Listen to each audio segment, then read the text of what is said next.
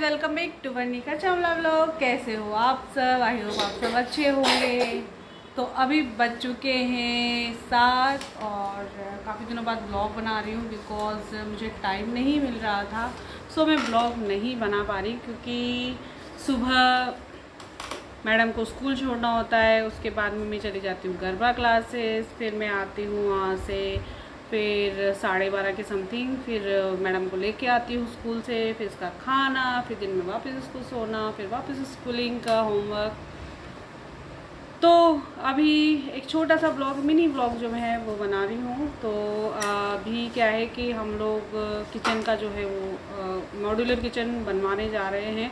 तो काम स्टार्ट हो गया है। हालत आप देख सकते हैं, कितनी पूरी हो रही है। सुबह से पूरा घर में धूल, मिट्टी क्योंकि प्लम्बर भी आ गए, साथ में कारपेंटर भी आ गए, दोनों जो हमारे बाथरूम है, हमारे पास टू बाथरूम है, दोनों बाथरूम में पूरा मिट्टी किचन में पूरी मिट्टी, सारे हमने नल वगैरह चेंज करवाए। तो ये हमारे दो कबर्ड बने हुए हैं अभी तक तो।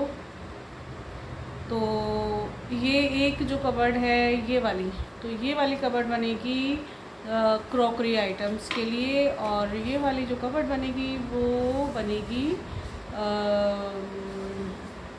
मॉड्यूलर किचन की जो रेक होती है ना, वो वाली। तो अभी बच चुके हैं ऑलमोस्ट सात। मैडम हमारी टीवी देख रही है और घर के हालात बहुत बुरे हैं अभी। लाइक ये देखो आप पूरा सामान इधर फैला हुआ है। हमारा बेडरूम भी पूरा अस्त व्यस्त हो रहा है। पूरा सामान फैला हुआ है। तो हमने सोचा कि चलो, क्यों ना अच्छा है, अभी से ही अगर दिवाली की सफ़ाई हो जाएगी तो वैसे तो दिवाली को ऑलमोस्ट सवा महीना के समथिंग है। बट uh, जल्दी फ्री हो जाएँगे साफ़ सफ़ाई से किचन का तो ऑलमोस्ट हो जाएगा। बट अभी तो हमें पेंटर नहीं मिल रहा है। तो पेंटर का है। अब समझ में ये नहीं आ रहा कि इतना सारा काम और इतनी सारी प्रॉब्लम को एक साथ कैसे सॉल्व करें। प्रॉब्लम को सॉल्व करें मतलब प्रॉब्लम नहीं घर की काम है होने में तो पर एक साथ सारा बर्डन आ गया। लाइक uh, गरबा क्लासेस भी जानी है स्कूल भी होमवर्क भी करवाना है। और किचन का काम भी है प्लम्बर का काम भी है बाथरूम का काम भी चल रहा है। तो बहुत बुरी हालत होने वाली है इन सात दिनों, क्योंकि सात दिन ही गरबा क्लासेस के बचे हुए हैं।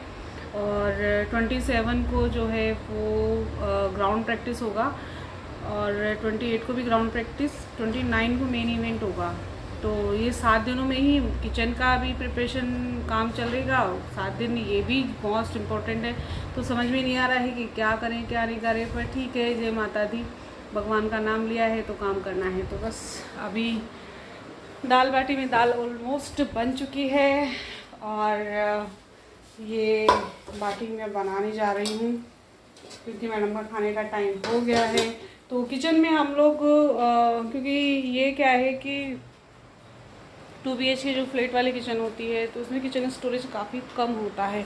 तो इस वजह से हमें इसको मॉड्यूलर किचन में कन्वर्ट करवा रहे हैं।